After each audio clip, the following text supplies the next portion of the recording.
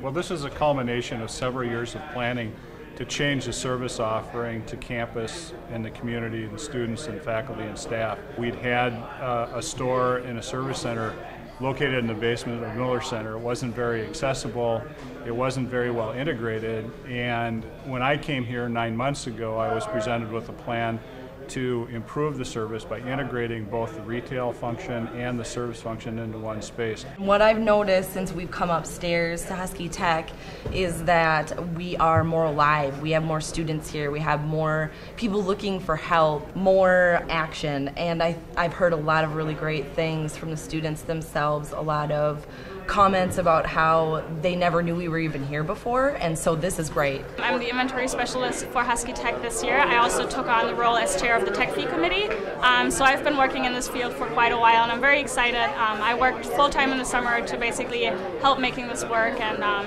it's just been very exciting to see how students like it so far and how it's more accessible. I'm a business major, um, so just the whole part of the organizational change that happened in opening the store has benefited me a lot, in leadership skills and just a lot of real life experience and um, helping setting the store up.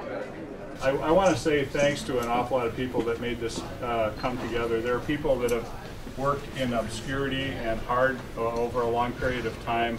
So I want to thank all of you and just say job well done. And it's super exciting to see all these shirts and some badges and things like that, the identity of who we are and, and, and standing to service the, the, the, campus community just, just is absolutely the best. So I'd like to officially open uh, Husky Tech and Wired and thank everybody.